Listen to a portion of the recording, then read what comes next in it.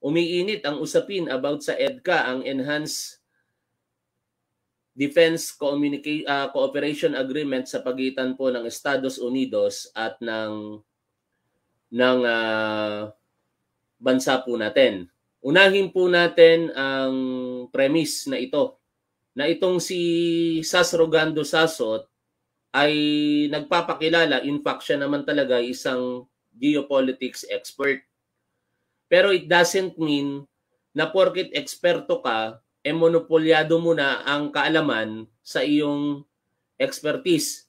Maraming mga expert na katulad mo at yun ay bahagi ng gobyerno na sinasanggunian ng ating Pangulong Bongbong Marcos bago mag-decide sa issue na ito.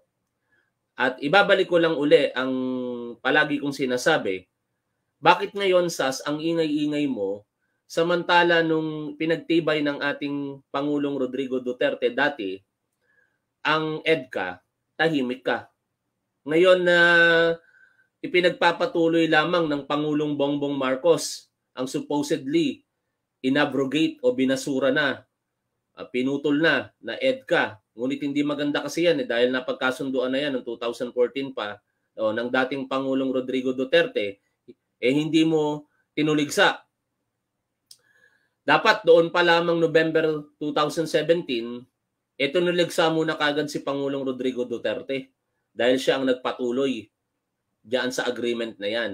Dineklarang constitutional yan ng Korte Suprema, di ba? Noong 2016. Ngayon, may dalawang premise dito mga tol na inilatag o arguments na nilatag ito pong dalawang vlogger na ito. Si Miss Thea Tan, syempre kay Miss Thea Tan tayo kakampi.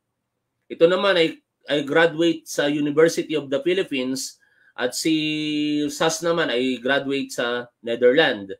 Parehas pong matalino yung tao na yan. Pero syempre si Thea hindi naman po siya geopolitics expert but it doesn't mean na porket hindi tayo eksperto, eh wala na tayong karapatang magsalita din sa harapan po ng publiko. Kasi lumalabas dito kay For the Motherland, Sas Rogando Sasot, ay siya lamang ang tama. Ano? Kung minsan ang sobrang katilinuhan, nakakaapekto ito sa personalidad ng isang tao. Eh. Pero hindi natin naatake ang personality dito ni Sas. Ang sa akin lamang, hindi ka tama sa lahat ng pagkakataon, Sas. Ano? Ano ka, mas magaling ka pa sa gobyerno? O, basahin natin. Kasi may sinagot si Sase. O, 33 minutes ago, response to Teyatan. Pero dito muna tayo kay Teyatan. Pagtagniin natin, ano? Ito naman kay Teyatan is uh, sinasabi ni Sas, hindi ko pa nabasa ng buo yung kanyang argumento, pero sinasabi niya na namamali daw ng pagkakaalam itong si Teyatan. I do not know. Kasi syempre, hindi ko naman alam ito. Wala akong malalim na pagkakaalam sa punto ng EDCA. Ang alam ko lamang dito, ito ay Enhanced Defense Cooperation Agreement sa pagitan ng Estados Unidos at saka ng ating bansa at dahil nga po sa pagiging magkaibigan ng bansa po natin ay dapat nagtutulungan especially kapag ka meron pong pag-atake na ginawa ang isang uh, bansa laban po sa anumang bansa katulad po ng Estados Unidos at Pilipinas. Dahil yan daw po ay nakabase din sa 19, 1951 Mutual uh, Defense Treaty or MDT. O, basahin ko muna at dahan-dahan po nating ipapaliwanag kung abutin po tayo ng medyo matagal, okay lang po ito. Tama yan, little learning is dangerous, ano? Pero sino ba ang sino ba ang dangerous sa pagkakataong ito? Is it SAS na assumptions ang sinasabi kahit geopolitics expert siya o ang gobyerno na mas maraming eksperto kumpara kay SAS. Hindi nga siya nakapasok sa gobyernong Duterte. Eh. Hindi nga siya nakapasok sa government ng Marcos. Tapos ipagpipilitan niya ang kanyang sarili. Ibig sabihin, hindi siya pinagkakatiwalaan ng anumang administrasyon sa kanyang expertise. O, di ba? Ganun lang kasimple yun eh. Sabi ni Thea Tan dito, my thoughts on EDCA. Obviously, I don't subscribe to arguments such as nagiging tuta na naman tayo ng mga kano. O, hindi naniniwala daw po doon si Teya. Although this is a free and democratic country and anyone is free to express their opinions. Tama. Lahat po tayo, mahirap, mayaman, nakatapos ng pag-aaral o hindi nakatapos ng pag-aaral kapag ka opinion ng pinag-uusapan, walang problema. Ang gawin lang natin, yung opinion na yan, sabihin po natin sa sarili po nating tahanan. Like for example, meron kang sariling page, O di i-post mo katulad ng ginagawa ni Teya Tan, hayaan mong ang mga manonood mo o mga mambabasa mo ang mag-decide kung tama ba yung opinion mo o hindi. Ganun ka din naman, Sas. Pero wag mong i-impose, Sas, ang opinion mo sa gobyerno kasi hindi ka ugnay sa gobyerno. Ikaw ay pangkaraniwang mamamayan lang din, katulad namin, na merong karapatan sa malayang pamamahayag at magbigay ng opinion. Pero yung yung opinion doesn't mean na kailangan i-adapt ng ating gobyerno. Oh, sabi ni Teya dito, here's my comprehensive position on EDCA. Background, binigyan niya tayo ng idea. To understand, para maunawaan ang Enhanced Defense Cooperation Agreement, ito ay dapat i-recognize natin, una, ang 1951 Mutual Defense Treaty at saka ang 1998 Visiting Forces Agreement with the US. Bago po mangyari ang EDCA, Meron na po tayong MDT 1951 at ina-appreciate din yon ng ating mga senador. Sabi nila hindi pa pwedeng tayo ay basta na lamang kumalas dito dahil meron nga po tayong Mutual Defense Treaty sa Amerika. Okay? At hindi maganda para sa bansa po natin ang baklasin ang ugnayan na yan dahil lamang sa ayaw po natin sa EDCA. Okay? Tuloy natin. The EDCA simply reaffirms the MDT and the BFA. O ayon sa paniniwala ni Teya, pinagtitibay lamang nito ang MDT at BFA ng ating bansa at ng Estados Unidos. Ang MDT o the MDT states that if there is an armed attack, kung merong armed attack, ano, ibig sabihin ng armed attack, gumamit ng military forces ang sino mang bansa laban po sa Pilipinas o sa US, eh legally, ididepensa po ng US o ng Pilipinas ang isa't isa. Ganun po yung kasimple sa IMDT. Kaya pagka ang China, assuming itong mga mga anti-DDS, mga DDS na anti-Marcos na ayaw sa EDCA, ipagpalagay natin na walang EDCA ngayon, pero meron tayong MDT. Inatake ang Estados Unidos ng China. Required ba tayong tumulong sa Estados Unidos dahil inatake ito ng China? Yes. Required. Bakit? Nasa Mutual Defense Treaty eh. Ang sinasabi doon sa ating maliit na pagkakaunawa kasi eh, parang ang laki ng pagkakaunawa talaga nitong si Sas eh. Eh, tayo po ay legally bound na magbigay ng ng tulong, armadong tulong, ano? military forces na yan, para tugunan ang pangangailangan bilang kaalyado ng bansang Estados Unidos kapag ka ito ay inatake ng anumang bansa sa mundo. Hindi tayo makakaiwas diyan dahil meron tayong mutual mutual defense treaty. Ganon din naman ang Estados Unidos. Kapag tayo ay inatake ng bansang China, armed attack ang pinag-uusapan dito, hindi yung pananakop diyan sa sa West Philippine Sea na kasalanan ng mga nakaraang administrasyon at lumala pa nitong nakaraang administrasyon. Oh. 'Di ba? Makakaiwas ba tayo? Hindi. Maliban na lamang kung Estados Unidos ang manggulo sa ibang bansa, hindi tayo required na magbigay ng suporta sa kanila militarily. Dahil wala po yun doon sa MDT ayon sa pahayag nitong si Teya. O, tuloy natin. The EDCA was negotiated against the backdrop of increasing tensions in the Asia-Pacific region. Kaya raw po nagkaroon ng EDCA dahil nga po sa tumataas na tensyon dito po sa Asia-Pacific region. Partikular, yung pag-assert ng nine-dash line nitong China sa West Philippine Sea. At dyan na nagsimula ang lahat eh. Yung kanilang uh, presensya sa West Philippine Sea at ang pananakop nila in particular sa atin na mga teritoryo. Pero walang ginawa ang mga nakarang administrasyon. O ngayon, tuloy pa po natin dito. Sabi pa rito ni, ni Thea, on July 26, 2016, the Philippine Supreme Court ruled with finality that EDCA is constitutional. Ngayon, anong pinagpuputak-putak ng Buchimo sa Surugando Sasot? E sinasabi nga ng Korte Suprema, constitutional ito. Kung constitutional ito, ito ay umiiral na batas dito po sa ating bansa. At 2014, 2022, 23 pa lamang ngayon, magte 10 years pa lamang yan, at ang validity niyan ay 10 years, alangan naman i abrogate o putulin kaagad yan ang ating Pangulong Bongbong Marcos. Ano siya, bida? Ha? Magmamagaling ang Pangulong Bongbong Marcos dahil lamang sa gusto mo? Puputulin ang EDCA? Samantala, yan ay pinagtibay ng nakaraang administrasyon at pinasimula ng Aquino administrations. Okay, tuloy tayo. Sabi pa dito ni Teya, summary of the agreement. Number one, the EDCA is effective for an initial period of 10 years. Ito at thoughts po ito ni Teya, hindi ko po ito thoughts. Kasi mamaya babasahin naman natin yung thoughts nitong si SAS. The EDCA is effective for an initial period of 10 years. Initial period. Ibig sabihin, after 10 years, it could be it could be extended or abrogated. Ano? Ipagpatuloy o itigil na ng ating pangulo ay ng ating bansa it shall continue in force automatically unless terminated by either party. Ayaw na ng Pilipinas, wala nang magagawa ang Estados Unidos after 10 years. Ayaw na ng Estados Unidos, wala na tayong magagawa after 10 years. Number two, while the U.S. forces may exercise operational control, put troops and equipment, construct facilities, and be accommodated in certain agreed locations, the Philippines shall retain ownership of the agreed locations pag-aari pa rin natin ang mga military bases. Sinabi na po yan ng ating spokesperson sa Armed Forces of the Philippines na anuman ang dalhing armas ng mga Amerikano dito, with the exceptions of course ng mga nuclear uh, weapons, hindi pa pwede rito sa atin yun, it will violate the EDCA, eh pwede pong dalhin dito dahil yun po ay nasa EDCA. At hindi ibig sabihin noon, porket nandito ang kanilang mga armas, pag-aari na nila ang mga base militar po natin. Hindi.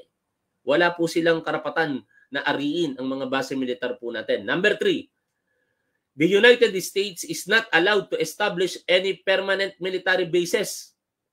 Kasi pinaalis na nga natin sila dito, di ba? Nung natapos yung uh, yung durations ng kanilang pag-stay dito sa Pilipinas, na magkaroon ng military bases, hindi ako nagkakamali, 1990 or 1991 po yun. Panahon po ng dating, uh, ng agaw ng kapangyarihan na si Corazon Aquino. Kasi nung panahon na yon isa si Senator Joseph Ejercito Estrada na bumoto para wag nang magpatuloy pa ang base militar ng Pilipinas dito sa ating bansa at nanalo sila doon. Kaya layas ang mga Amerikano nung panahon na yon. Number four, the US must have over any all any and all facilities in the agreed locations, agreed locations to the Philippine government upon the terminations of the agreement. Pilipinas ang magsasabi kung saan ba dapat ilagay ang mga locations na ito. At ayon sa pag-aproba ng ating gobyerno sa kasalukuyan, ito ay inagree na ilagay sa mga probinsya ng, I hope hindi ako magkamali sa pagkakaalala ko, Cagayan, Zamboanga, Sambales at Isabela. Oh, bakit ang tanong, bakit pinili ng ating gobyerno at napagkasunduan ng Estados Unidos ang mga lokasyon na yan? Hindi natin alam at hindi mo rin alam, SAS. Kasi meron itong pagkonsulta sa ating National Security Council na binubuo ng mga national security expert, na binubuo ng mga geopolitics expert, katulad mo. Pero hindi ka bahagi doon, hindi mo alam kung ano yung napag-uusapan sa closed door meeting which entails the national security. Oh. Kaya wag niyong assumption assumption kagad. Pero siyempre sa ating palagay eh dahil ito ay strategic locations malapit sa Taiwan. Oh. Pero palagay lang natin 'yon. Ikaw ang problema sa iyo SAS, expert ka pero nagpapalagay ka. Dapat bilang isang eksperto, meron kang pinangahawakan na matibay at hindi ka nag assume ng mga mangyayari sa inaharap katulad ng gera. Tinatakot mo ang taong bayan eh. Number five, the US is not allowed to store or position any nuclear weapons on Philippine territory. O yun, simple lang po yan. Napakasimple lang. Hindi dapat magdala ng anumang nuclear weapons dito ang bansang Amerika sa ating bansa. O EDCA timeline. Hindi ko alam kung complete itong nilagay dito ni Teya. Ha? April 2015, the US asked for access to eight bases in the Philippines. March 2016, both parties agreed on five locations of military bases. Ano?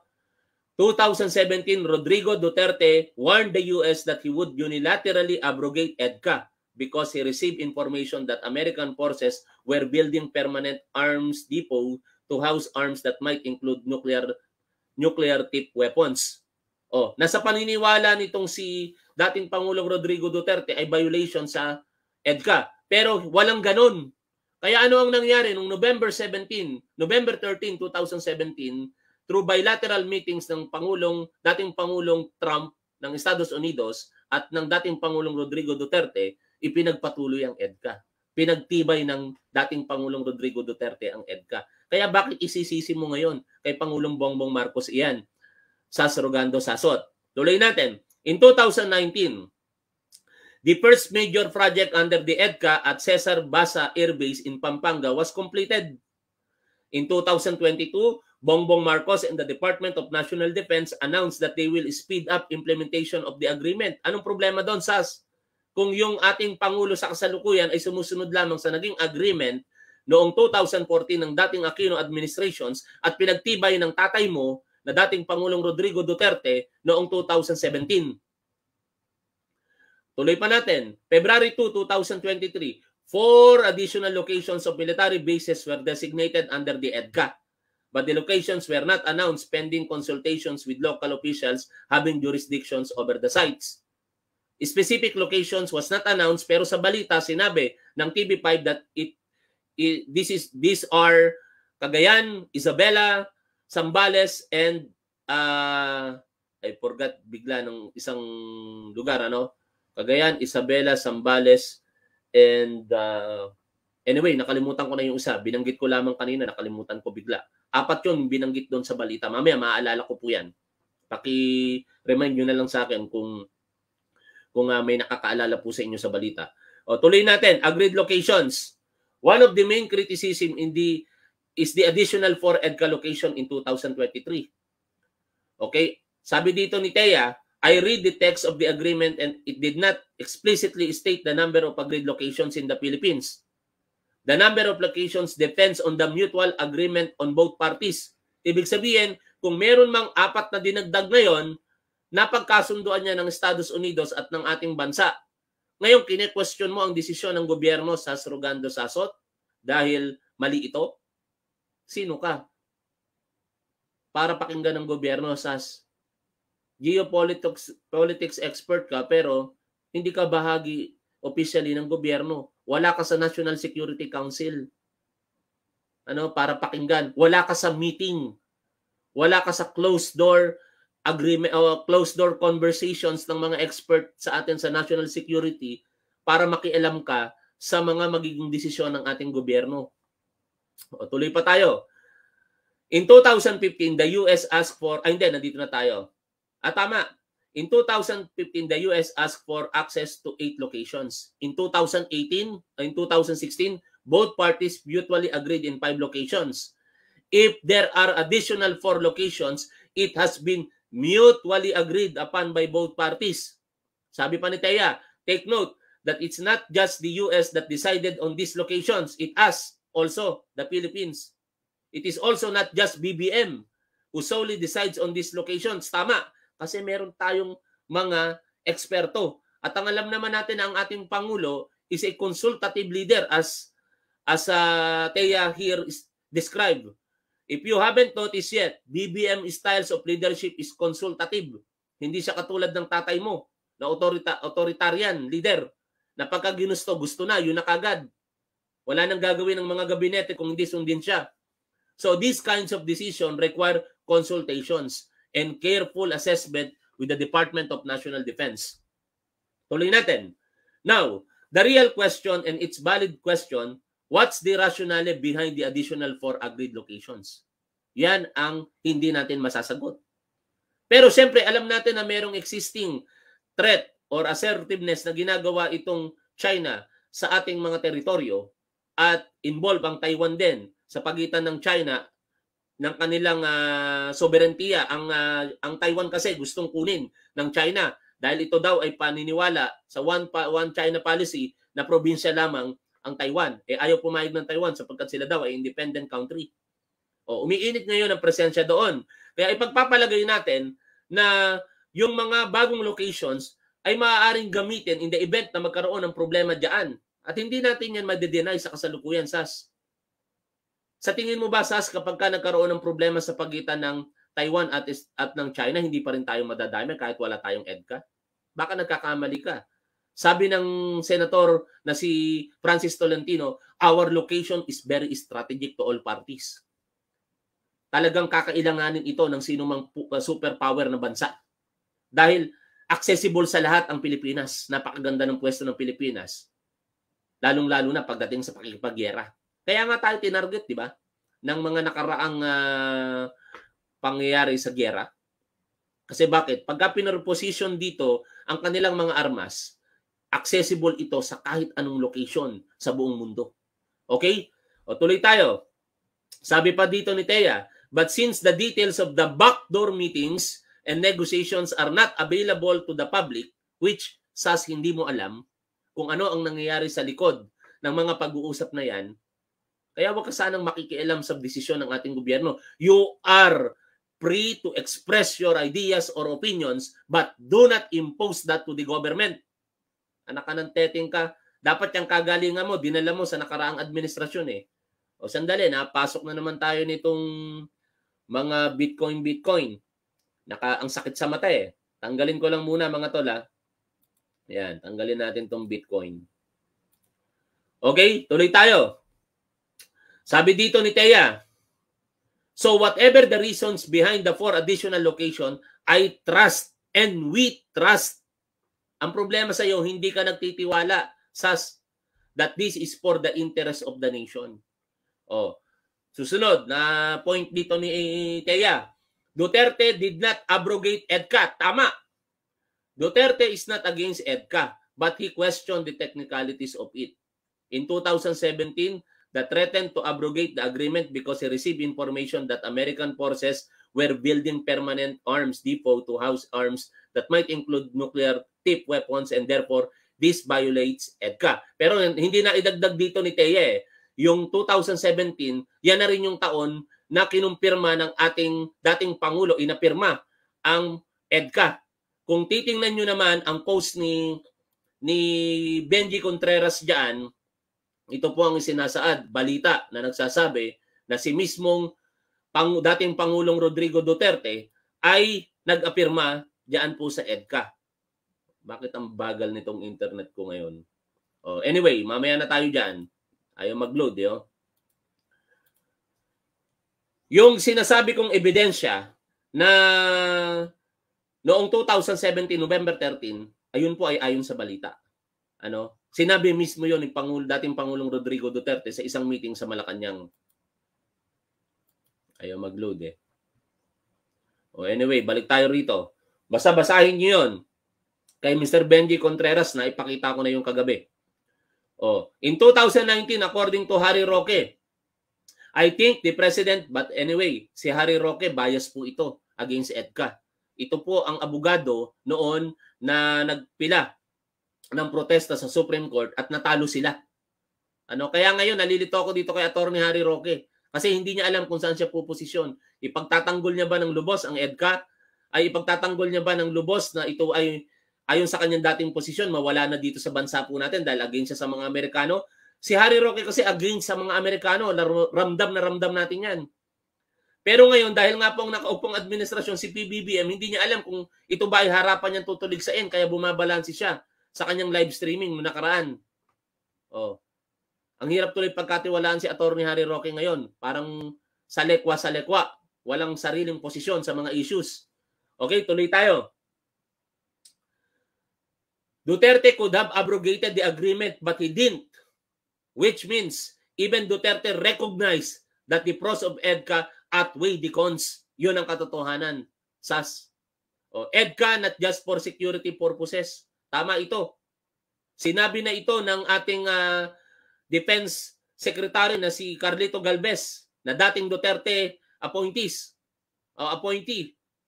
Sabi niya, ito ay magse-serve good for our security and also for economy. Ano ba ang mga kadahilanan dito na sinasabi ni ni Teya? Ito naman layman's uh, understanding ito na pro dumating ang mga Amerikano rito, eh makakadagdag po yan sa presensya ng turismo at the same time sa engagement ng ating mga kapwa Pilipino dahil pag may turismo, merong mga manggagawa na magseserve para sa pangangailangan ng mga turista. At pati yung mga possible na turista pa na pupunta rito dahil po sa presensya ng mga ganitong uh, agreement mula po sa Estados Unidos at sa bansa po natin. Okay, kaya speed up na natin yan. Tuloy tayo dito. MDT, BFA, EDCA as bargaining powers against China. Tama. Tayo binubuli ng China ngayon. Yan ang katotohanan. SAS. Hindi ba pambubuli ginagawa ng China ngayon? Nakaraang taon lamang pinutol nila yung lubid na humihila doon sa rocket debris. Tapos nakaraan, nabalitaan natin, nilive nga ito ni Mike Abe, na parang hinabol daw po na naman ang, ang vapor natin nitong bansang nitong uh, mga Coast Guard ng China. Oh, hindi ba yung pambubuli?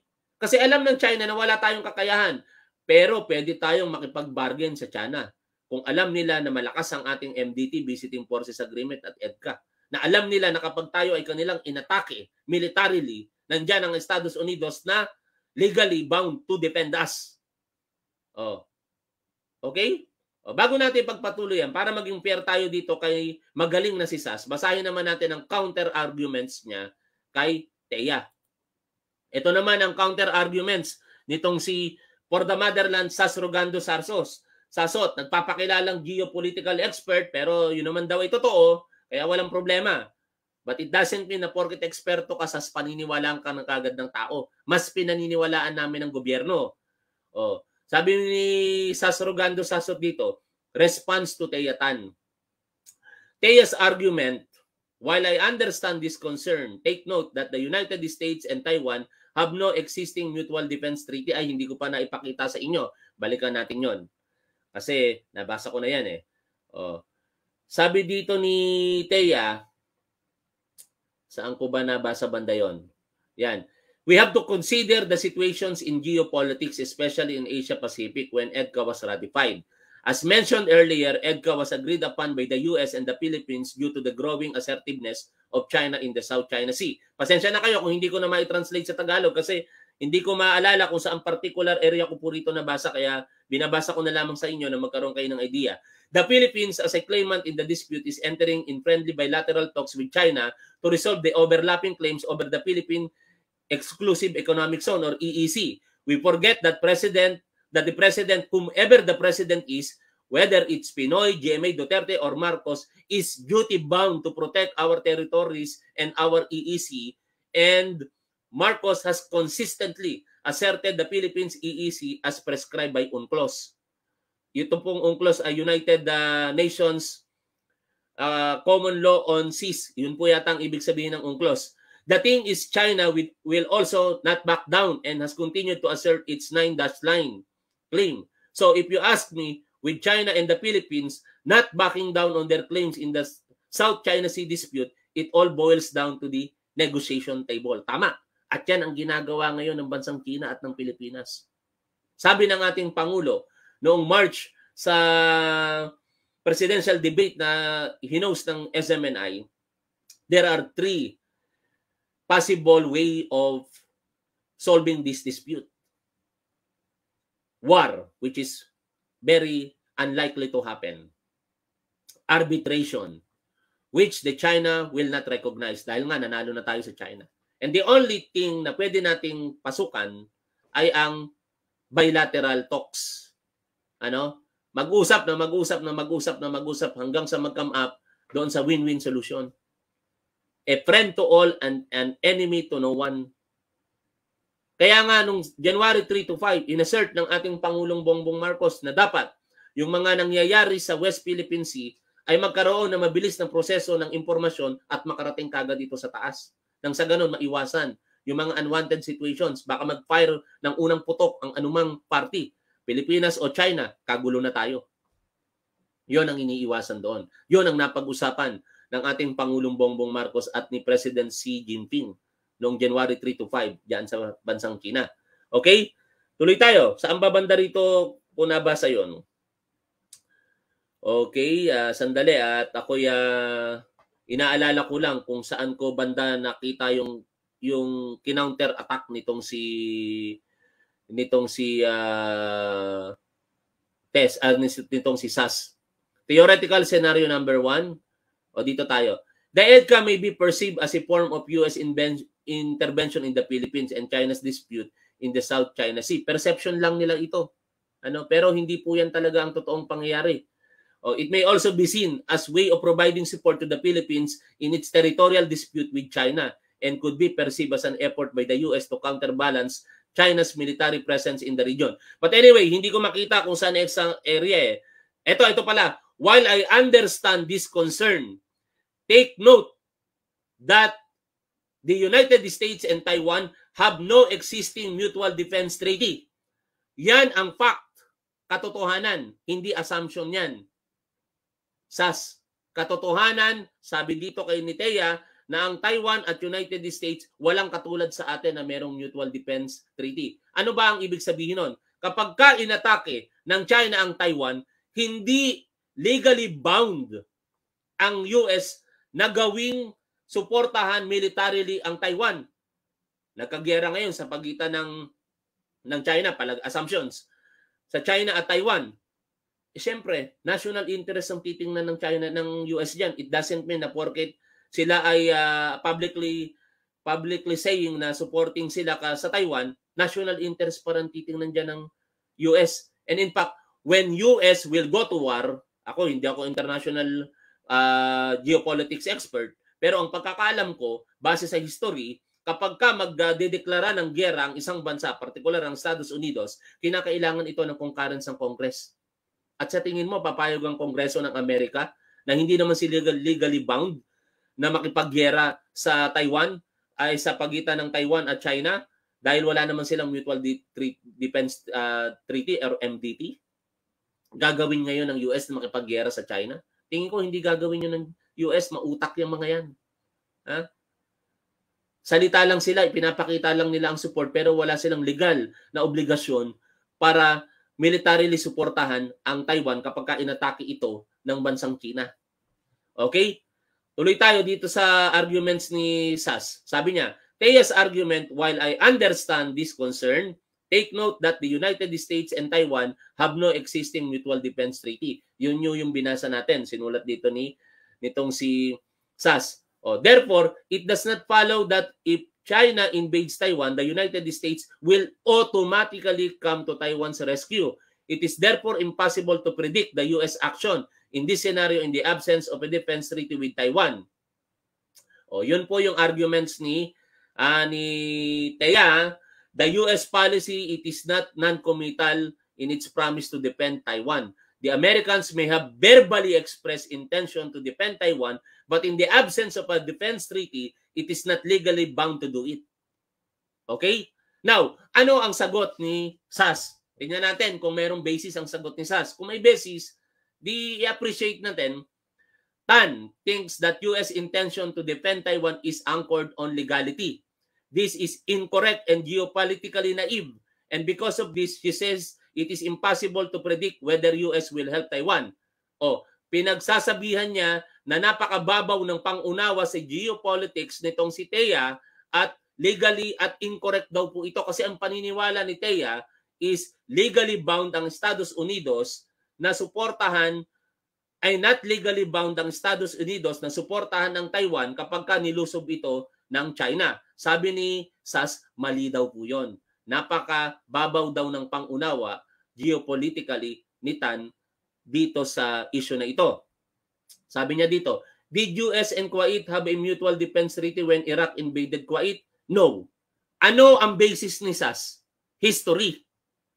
'Di ba? Totoo naman na nung in-invade nito ang ang uh, nasaan ako? Ang uh, ang Iraq walang basis dito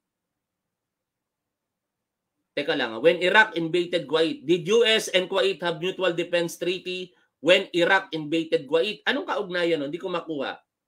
O anyway, in-invade ng Iraq ang Kuwait. Nakialam dito ang US. Siguro yun ang gustong sabihin dito ni sa sa history. Sabi ko nga kanina, national interest palagi ang pag-uusapan dito.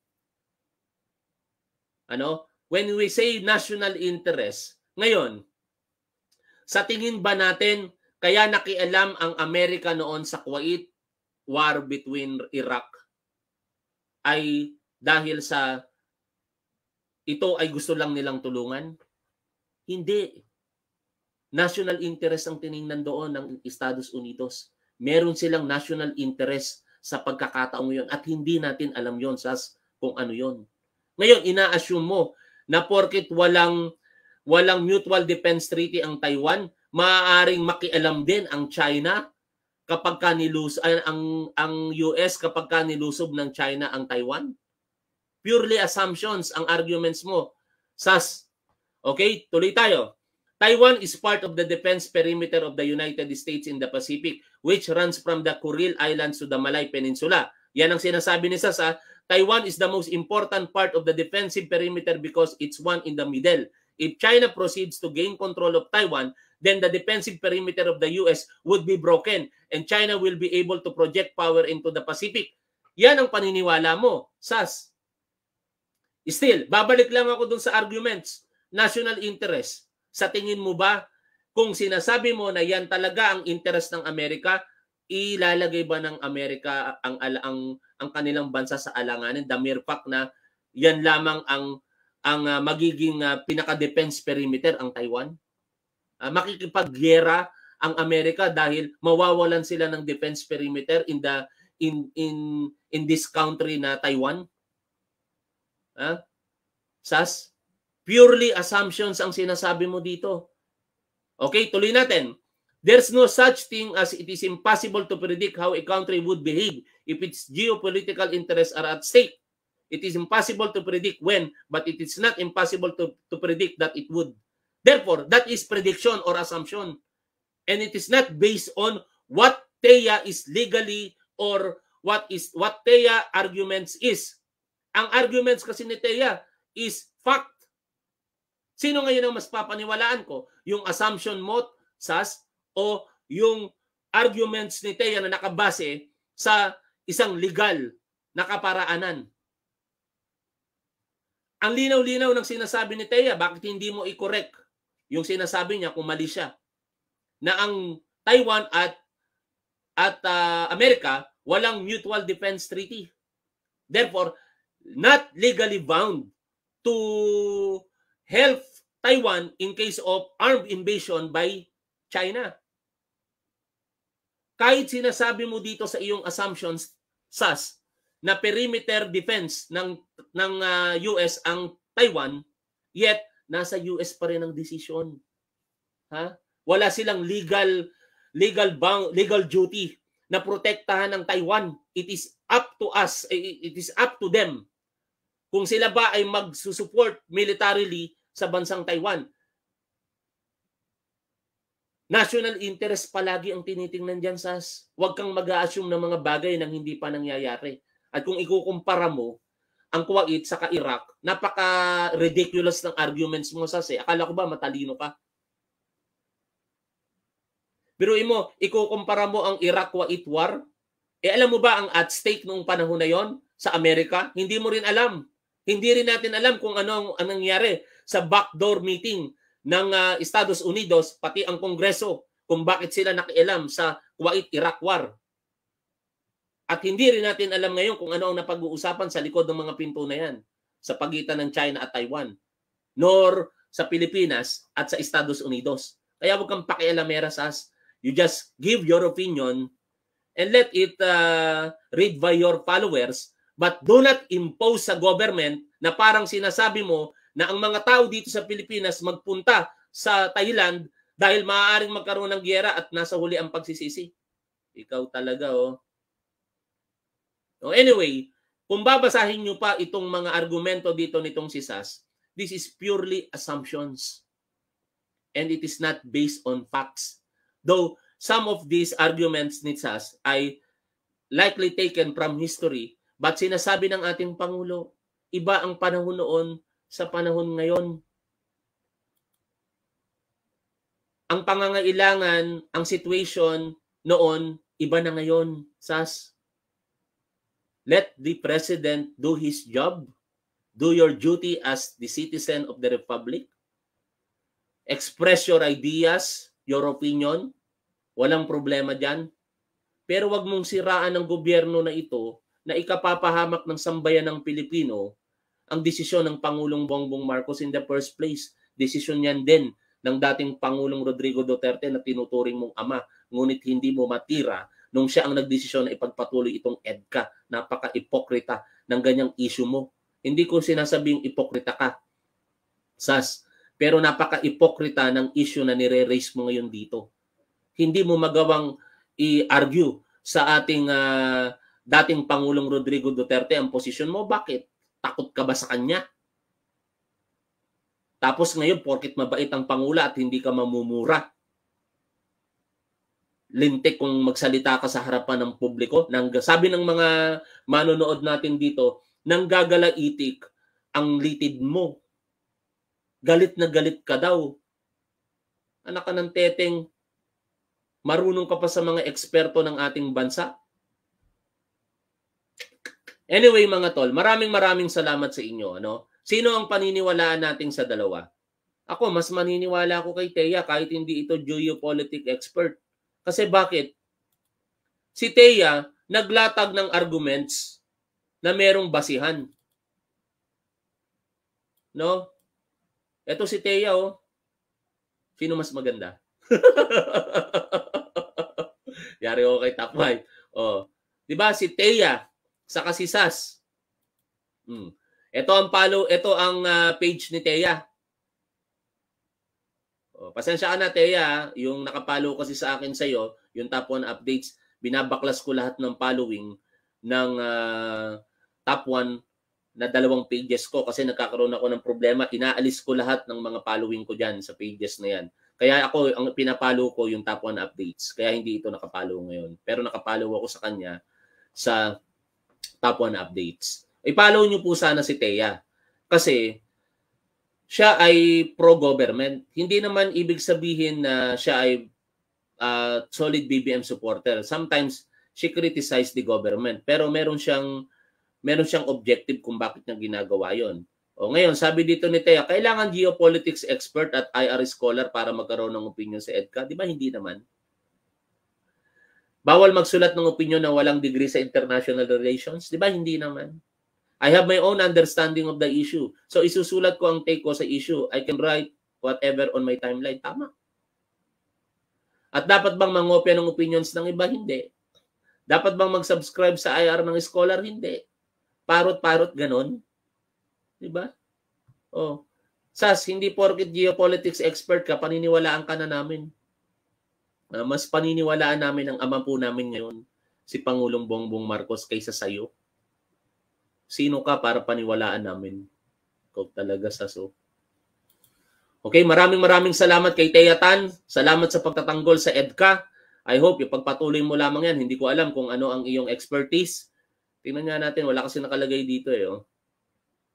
Oh, basta nakalagay dito, studied at University of the Philippines, Diliman. Oh, Siyempre, kapag ka nakapag-aral ka sa UP, ang presumption sa iyo ng tao, matalino ka. Oh, kaya hindi naman siguro katangahan ang sinusulat dito ni Teyatan. Pero yung kay purely assumptions. Purely predictions. Ang linaw-linaw, hindi mo pwedeng i-counter arguments yung sinasabi nitong si Teyatan na ang Amerika not legally bound to defend Taiwan. Kahit lusubin ng China yan, pag ayaw ng Amerikang suportahan militarily ang Taiwan, walang magagawa ang Taiwan. Pero tayo, kapag tayo nilusob ng China ng uh, armed attack, legally bound na dumepensa sa atin ng China dahil ang ang US dahil meron tayong mutual defense treaty noong 1951. Shout out sa lahat po